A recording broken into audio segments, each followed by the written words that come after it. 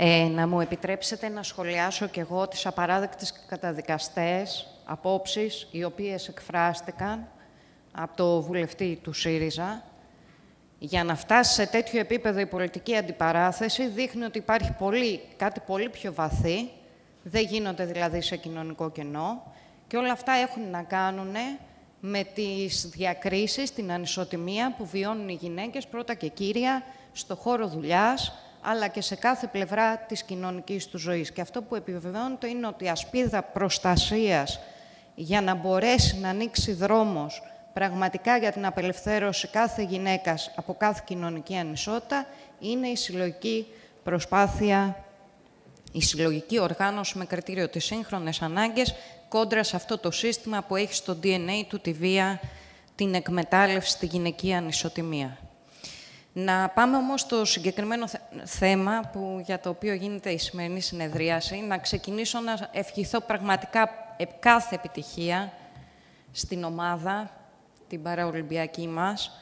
Ε, πολύ περισσότερο σε συνθήκες που επιβεβαιώνεται ότι και ο παραολυμπιακός αθλητισμός, το πάτε και εσείς οι ίδιοι, και ο μαζικός λαϊκός αθλητισμός για τα άτομα με ειδικές ανάγκες έχει κρίσιμο, όπως το είπατε Γενική Γραμματέα, κοινωνικό χαρακτήρα, τεράστια θεραπευτική σημασία, που δεν έχει να κάνει με το πώς η άθληση μόνο προάγει και την ποιότητα ζωής, αλλά σχετίζεται βέβαια και με την ανάπτυξη και την καλλιέργεια κοινωνικών χαρακτηριστικών της αυτοπεποίθησης, της χειραφέτησης, της αυτενέργειας, για να μπορεί να σταθεί κάθε άτομο με αναπηρία, κάθε άτομο με ειδικές ανάγκες στα πόδια του. Με αυτή την έννοια είναι ακόμα πιο προκλητικά τα κενά που υπάρχουν και σε σχέση με την υποχρηματοδότηση και την υποστελέχωση και του παραλυμπιακού αθλητισμού αλλά και του μαζικού λαϊκού αθλητισμού με ευθύνη προφανώς και της σημερινής κυβέρνησης αλλά και διαχρονικά όλων των κυβερνήσεων.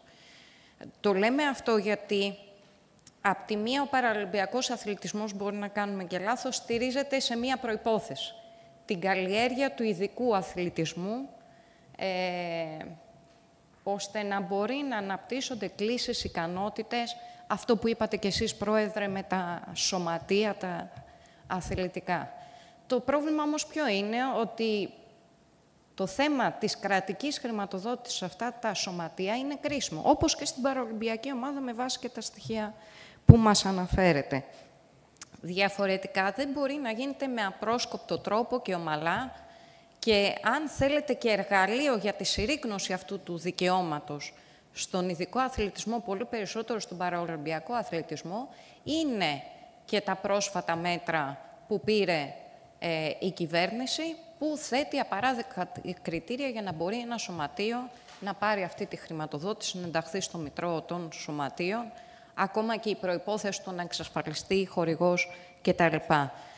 Το, η μία πλευρά είναι αυτή. Η δεύτερη πλευρά που αναδείξατε κι εσείς είναι η κατάσταση που επικρατεί με τις αθλητικές εγκαταστάσεις.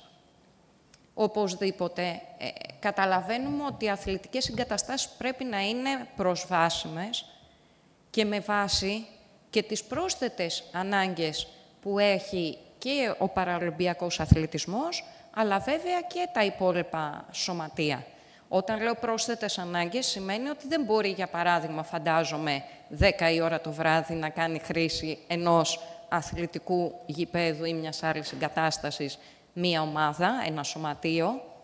Θα πρέπει να παίρνονται υπόψη. Θα πρέπει να παίρνονται υπόψη επίσης ε, ζητήματα που έχουν να κάνουν με την εξασφάλιση όλου του αναγκαίου ε, βοηθητικού προσωπικού και ιατρικού προσωπικού για να μπορεί με ευθύνη όμως του κράτους και όχι με ευθύνη του κάθε σωματείου που θα πρέπει να χρυσοπληρώνει για να εξασφαλίζεται.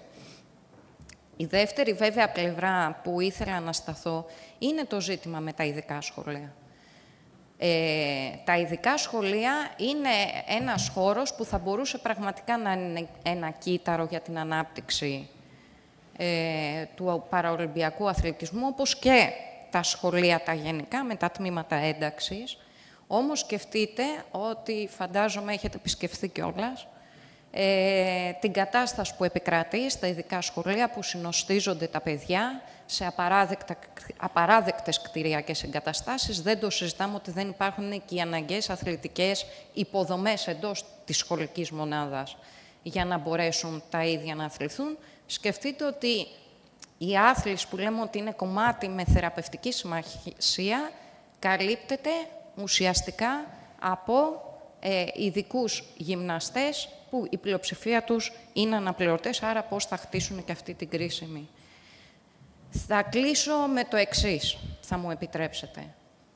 Ε, όταν σβήνουν τα φώτα της δημοσιότητας, είστε αντιμέτωποι και αντιμέτωπες, όχι μόνο με τα προβλήματα στα πλαίσια του αθλητισμού που τα περιγράψατε και συμφωνούμε απόλυτα ότι πρέπει να υπάρχει για νέα κρατική χρηματοδότηση, για να επιληθούν, με ευθύνη του κράτους όλα αυτά, αλλά έρχεστε αντιμέτωποι και με τις πολλαπλές δυσκολίες των συνθηκών δουλειάς και διαβίωσης και ολοκληρώνω, Πρόεδρε.